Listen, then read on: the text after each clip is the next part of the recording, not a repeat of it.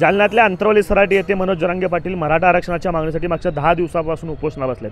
आज ते उपोषण मागं घेतील अशी शक्यता व्यक्त केली होती मात्र त्यांनी आजही उपोषणावरती कायम राहण्याचा निर्णय घेतला. या संदर्भात बोलण्यासाठी सकल मराठा समाजातील काही लोक आपल्यासोबत आहेत. मौली माऊली मला सांगा की खरं तर मनोज जरांगे पाटील यांचा दहावा दिवस उपोषणाचा आहे. तब्येत त्यांची खालावते मात्र तरी देखील ते उपोषणावरती भूमिकेवरती ठाम आहेत. आपण कशा पद्धतीने बघता कशा पद्धतीने त्यांना पाठिंबा असणार? हा विषय उद्भवून लाठीचार्ज होऊन सहा दिवस झाले.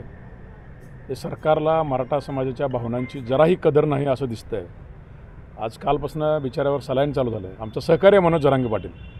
आणि त्यात काल एका राजकीय पक्षाच्या कार्यकर्त्यांनी मी त्यांचं नाव घेऊ इच्छित नाही आहे सोलापूर शहर आणि जिल्ह्यातल्या मराठा समाजामध्ये फूट पाडण्याचा प्रयत्न केलेला आहे. हे अतिशय निषेधार्य गोष्ट आहे. घराघरातला पश्चिम महाराष्ट्र असो विदर्भ असो कोकण असो मराठवाडा असो उत्तर महाराष्ट्र असो आम्ही सगळेजण मनोज जरांगे पाटील पाटलांच्या खंबीरपणे पाठीमागे आहोत.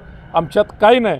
काही राजकीय पक्षाचे चाटाळ लोक नालायक लोक ज्यांचं समाजापेक्षा जास्त नेत्यावरून पक्षावर प्रेम आहे.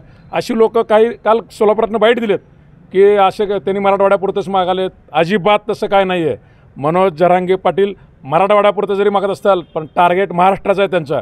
त्यामुळे एकमुखी आम्ही मनोज जरांगे पाटलासोबत आहोत. सोलापूर शहर व जिल्हा सकल मराठा समाजाच्या वतीने मी आश्वासित करतो आज त्यांची पत्रकार परिषद झाली. त्या पत्रकार परिषदेमध्ये ते असंच म्हणाले की सरसकट मराठ्यांना कुणबीचं प्रमाणपत्र द्या आणि वंशावळची अट देखील काढा आणि तोपर्यंत मी मागं घेणार नाही उपोषण अशा पद्धतीची भूमिका आहे. माऊली जसं म्हणाले काल काही लोकांनी विरोध देखील केला आहे आपण कशा पद्धतीने बघताय सगळ्या? कसं आहे माहीत आहे का? जे सरकारच्या पाठीशी आहेत जे आता पूर्ण तो बेवारस ती बेवारस अवलाद असते का ना त्यांची? ते बेवारस बेवारस अवलाद आहे ते. सरकारची बेवार बे बेवारस अवलाद आहे. आणि ह्यांना कुठल्याही गोष्टीची माहिती नाही. ह्यांना फक्त आता मी म्हणल्याप्रमाणे ई डब्ल्यू एस आणि ओ बी सी ह्याचा अर्थ विचारा केला ह्याला माहिती नाही. ह्यांना कुठल्याच गोष्टी माहीत नाही. फक्त प्रत्येक गोष्टीत विरोध करायचं एवढंच त्यांना माहिती आहे. आणि ही भाजपची बेवारसं अवलत आहे. आणि ही नेहमी अशी विरोधच करणार आहे. आणि ज्यावेळेस हे असं विरोध करतील की कॉर्पोरेशन आता जवळ आलं यांना. यांना आम्ही मराठा समाजात काय हिसका आहे? जरांगे पाटील काय आहेत? ते त्यावेळेस दाखवू यांना. विरोध करणाऱ्यांचं असं म्हणणं आहे की त्यांच्या आंदोलनामुळं त्यांच्या उपोषणामुळं केवळ मराठवाड्यातील मराठ्यांना फायदा होईल.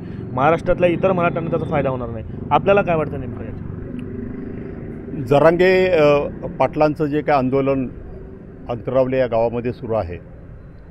जरांगे पाटलांनी असा कुठलाही भेदभाव त्या ठिकाणी केलेला नव्हता की फक्त मराठवाडा पश्चिम महाराष्ट्र कोकण किंवा असा कुठलाही प्रांत म्हणजे कुठलाही भाग असं त्यांनी केलेलं नाही.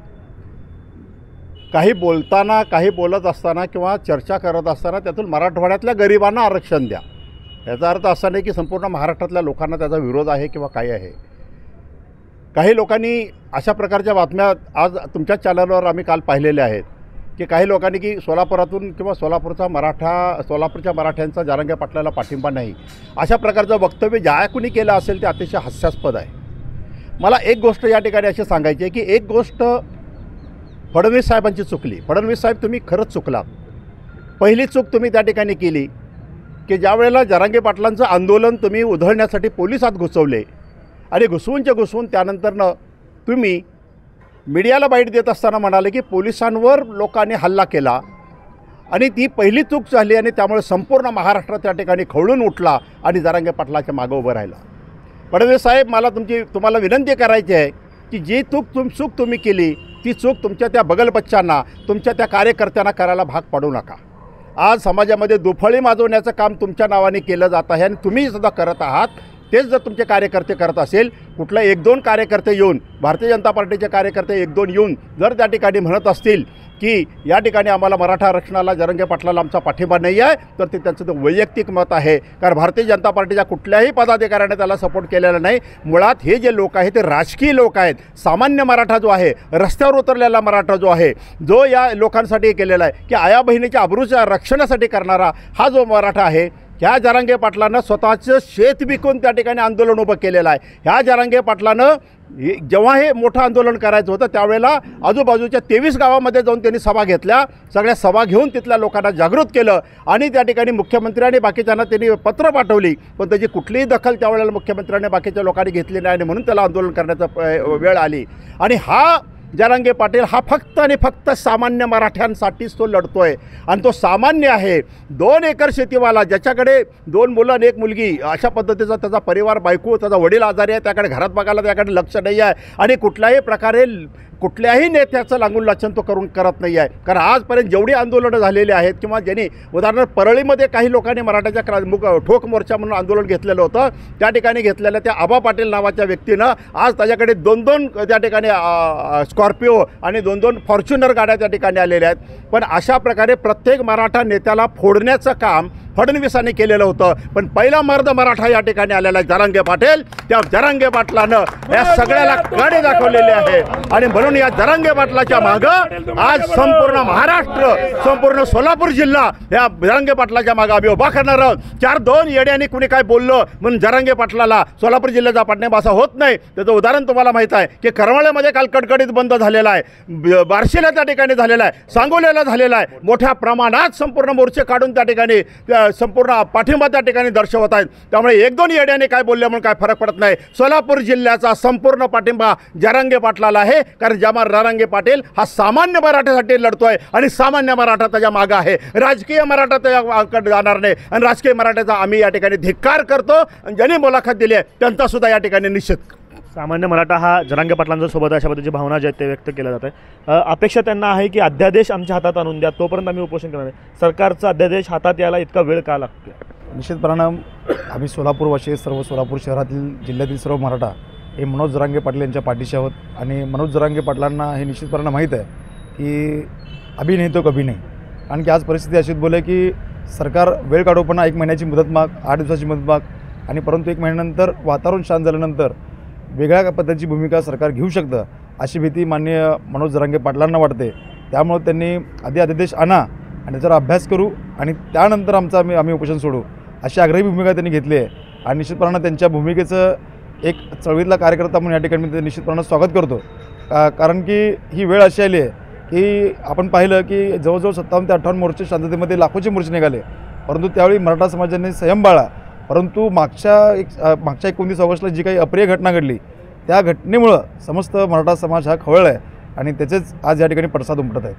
अ, जसं म्हणाले की अध्यादेश अजून निघालेला नाही आहे वेळ काढूपणा होतो असं वाटतं सगळ्या याच्यामध्ये? अध्यादेश काढण्यासाठी एक महिन्याचा ना एका तासाचा टाईम महत्त्व तासामध्ये होतं. शिंदेसाहेब जेव्हा सी एम होते तेव्हा बापट आयोगाच्या शिफारशीनं त्यांनी कुणबी मसाड्यांसाठी एक अध्यादेश काढून ओबीसीमध्ये त्यांचा समावेश व्हावा असं शासनाचा अध्यादेश आहे. फक्त त्याच्यामध्ये डॅश आहे. एक तर ते डॅश हटवून ते अध्यादेश दूर सुटवून आता नवीन अध्यादेश काढायचा आणि फक्त डॅश हटवायचं किंवा कुणबी तत्सम जात म्हणून अध्यादेश काढायचं. कॅबिनेटची मिटिंग राहायची आणि ती मिटिंग घेऊन त्याचा कायदा बनवून राज्यपापाशी पाठवून घेऊन राष्ट्रपतीची सही द्यायची आहे साधं सोपं रणित आहे. निजामशाहीचे डॉक्युमेंट तपासण्याची सुद्धा आवश्यकता नाही आहे एकोणीसशे सदुसष्टच्या आधी आता सध्या कुणबींना जे सर्टिफिकेट भेटतं एकोणीसशे सदुसष्टच्या आधी ज्यांच्या नोंदी आहेत आता माझ्या आमचा जन्म माड्याचा आमच्या माड्यामध्ये कमीत कमी आता संजय मामा शिंदे किंवा बबनदादा शिंदे यांच्या नोंदी कुणबे आहेत. आता इथं बरायचं म्हणताना गणेश वानप्र दत्ता वांटरच्या नोंदी कुणबे आहेत. ज्यांच्या सदुसष्टच्या आधी नोंदी आहेत गाव नमुना चौदामध्ये कुणबी त्यांना भेटतेच. पण ज्याच्या नोंदीच नाही त्या सदुसष्टच्या आधीसुद्धा आणि ती निजामशाही निजामशाही तपासण्याची पण काही आवश्यकता आणि कुणबी तत्सम जात म्हणून मसाड्या समाजांना दोषित करून एक अध्यादेश ठरतो ती एका तासामध्ये हे होऊ शकतं आहे फक्त शासन ह्याच्यात टाईम काढत आहे किंवा एक ह्याच्यात संधी शोधत आहे. निवडणुकीची. त्यांना हे वातावरण सामायिक जनजीवन असंच विस्तृत देऊन ओ बी सी किंवा अन्य जातीमध्ये तेढ उत्पन्न करून यांना निवडणुकीमध्ये ह्याचा फायदा उठवायचा आहे. त्यांना कोणत्याही जातीचं देणं देणं नाही आहे किंवा कोणत्याही जातीविषयी आत्मीयता नाही आहे मग ते एकनाथ शिंदे असतील अजितदादा असतील किंवा फडणवीस असतील. ही तिरही फक्त सत्तेसाठी त्यांचं हे नाटक आहे किंवा जे टाईम काढत आहेत.